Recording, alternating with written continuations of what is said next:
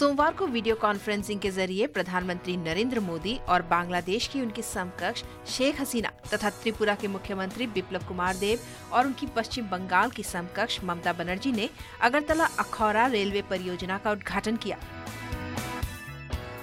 इसके अलावा दो अन्य परियोजनाओं का भी उद्घाटन किया गया, जिनमें पश्चिम बंगाल से बांग्लादेश तक बिजली की आपूर्ति और फेनी नदी पर अंतर्देशीय जल परिवहन शामिल है। परियोजना के उद्घाटन के बाद मुख्यमंत्री बिप्लब देव ने कहा कि पूर्वोत्तर भारत को अष्टलक्ष्मी और हीरा बनाने के प्रधानमंत्री मोदी के लक्ष्य की तरफ यह एक बड़ा कदम है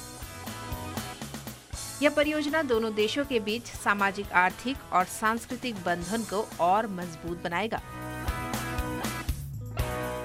আখোরা রেল প্রকল্প এই প্রকল্প হওয়াতে পশ্চিমবঙ্গের কলকাতার সঙ্গে দূরত্ব এক তৃতীয়াংশ হয়ে যাচ্ছে সঙ্গে সঙ্গে এই প্রকল্পের মাধ্যমে নর্থ ইস্টকে মাননীয় প্রধানমন্ত্রী যে হীরা বানাতে চাইছেন H for highways R for railways I for highways A for airways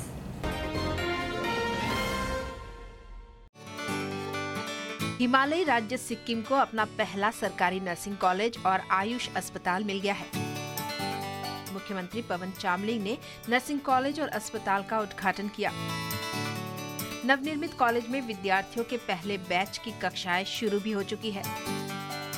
Sikkim सरकार की ओर से स्नातक स्तर तक निशुल्क शिक्षा की व्यवस्था है, इसलिए नर्सिंग कॉलेज का पाठ्यक्रम भी निशुल्क है। मुख्यमंत्री चामलिंग ने कहा कि अगले साल राज्य में नया मेडिकल कॉलेज भी शुरू किया जाएगा, जिससे एमबीबीएस का पाठ्यक्रम भी निशुल्क होगा। मेडिकल कॉलेज का निर्माण आगामी हज़ार बिस्तर वाले मल्टी स्पेशलिटी अस्पताल के भीतर किया जाएगा। जिसका निर्माण इसी वर्ष के भीतर पूरा हो जाएगा। इस अवसर पर मुख्यमंत्री ने नर्सिंग कॉलेज और राज्य में प्राउड मदर स्कीम की वेबसाइट भी लॉन्च की। Integrated AYUSH hospital has OPD for Ayurveda homoeopathy आमजी and it has yoga hall where therapeutic and general yoga is given then it has panchakarma unit where so many like steam bath facility, like Shirodhara facility, like uh, uh, oil massage, all kind of facilities are available here.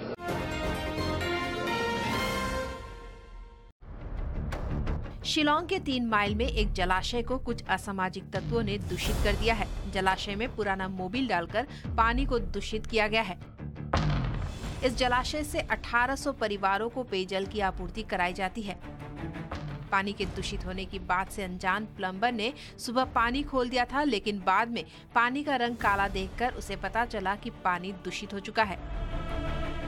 यह जलाशय समीप ही एक dispensary से सटा हुआ है। हालाँकि अभी तक चिकित्सा सेवा में इस वजह से कोई पेचीदगी नहीं आई है लेकिन सवाल यह है कि मेघालय में पेय जलापूर्ति कितना सुरक्षित है।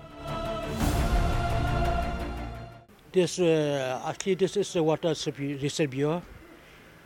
Here, what we find out in this treatment plant, capacity is about 40 to 50,000 liters. So, from this reservoir here, it supplies water to this Nongset locality. Here we have got about 1800 households. 1800 households. So what happened this morning, actually we never know that water is already contaminated.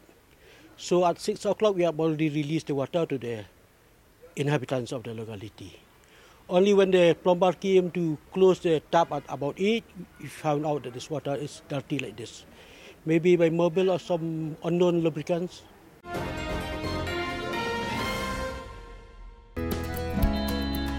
Captain दिवंगत and कंगरूज MVC की याद में कोहिमा के स्थानीय खेल मैदान में राज्य स्तरीय फुटबॉल टूर्नामेंट का चौथा संस्करण शुरू हो गया है 10 सितंबर से शुरू हुए इस टूर्नामेंट का समापन 22 सितंबर को होगा टूर्नामेंट में हिस्सा ले रही 24 टीमों और दर्शकों को संबोधित करते हुए IGAR north major general PC Nair ने कहा कि इस टूर्नामेंट ने खेल के प्रति जो उत्साह बढ़ाया है, वह असम राइफल्स की इस पहल के लिए एक बड़ी उपलब्धि है। टूर्नामेंट में कुल 24 टीमें हिस्सा ले रही है। प्रतियोगिता के विजेता को एक लाख सत्तर हज़ार रूपयों का नकद इनाम और ट्रॉफी दी जाएगी। Or who have played some very, very intense matches in their respective districts to reach here. And uh, I see a lot of expectations from them to take the winner's prize, which is a huge amount.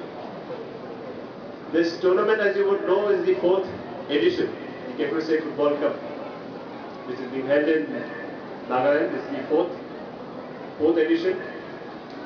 And as the tournaments have grown, the level of interest, enthusiasm, participation of various teams has increased, which has actually been of great encouragement to us in the Assam Rifles.